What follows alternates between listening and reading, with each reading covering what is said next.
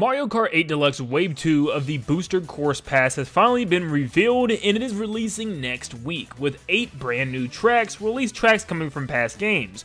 Well, that might not be totally true because one of the tracks is actually brand spanking new called Sky-High Sundae, which was an ice cream dessert stage based on like this cool mountain mall area. It's a really cool track and it's just crazy that this is technically a new track coming to Mario Kart 8 and really to the Mario Kart franchise in general. Now, we're going to actually go over this track and talk about how new does it count because technically this track was leaked a long time ago to be coming to Mario Kart Tour, but clearly it's here in Mario Kart 8 Deluxe first. So does it technically count as a new track? Will we be getting a new track in every single pass? Well, let's talk about it. Let's talk about where these tracks are even coming from in the first place. So Wave 1 kind of had a track that I guess you could put in this category, kind of, and let me tell you why.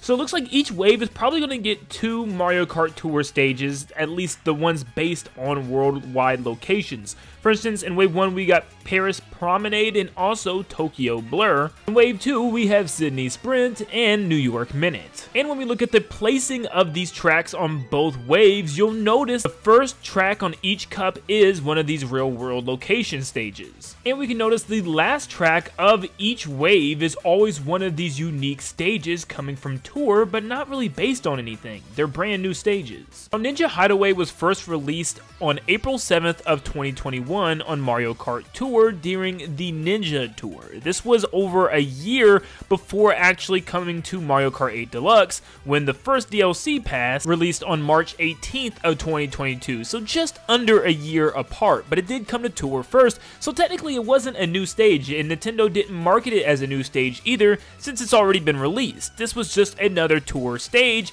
that didn't have to do with anything worldwide location wise. However, we are getting Sky-High Sundae, which has never came to tour first, but it is planned to come to tour later on. So a lot of people saying technically this isn't a new track, this is coming to tour, but hey, this is coming to Mario Kart 8 Deluxe first. This is the first time we're seeing it this is 100% a new track. Nintendo even gave it the new emblem during the trailer, so yeah, this is a brand new track, it's just the opposite is happening here, opposite of Ninja Hideaway. It's coming to Kart 8 first, and then Tour eventually in the future. So does that mean we're getting brand new tracks now in every single wave?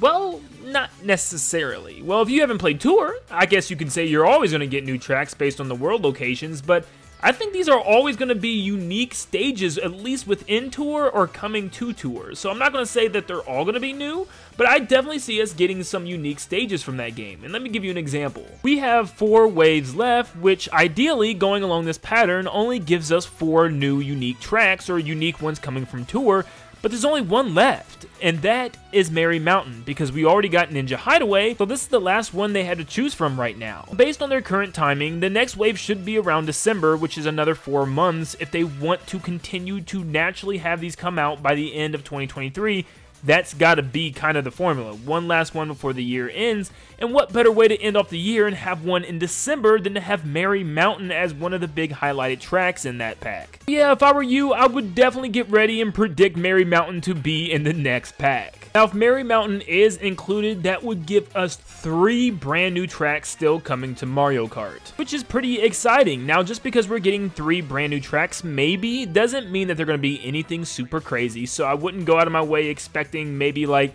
a track based on Sonic the Hedgehog like this mod playing for you right now, or something like Kirby or Metroid getting a track. I think eventually we would see stuff like that in the next Mario Kart, but that's not what this pass is for.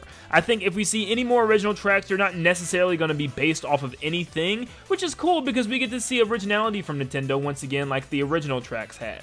So I would kind of get ready and expect three more tracks coming, but in what vein and what way are they going to look?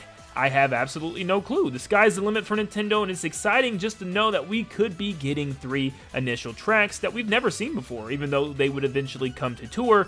These are new tracks, folks. I know a lot of people were trying to tell me that Sky-High Sundae doesn't count, but no, it definitely does. This is a really cool track. It's a brand new track. We've never seen it before, and we could be getting three more just like it. But let me know in the comments down below what you guys think. Are you excited to get more new tracks along with old ones being revamped? Let me know what you would like to see and what type of tracks you would like Nintendo to make. Please leave a like and subscribe to stay up to date on all things Mario Kart and Nintendo in general. And like always, I'll see you all in the next one. See you guys.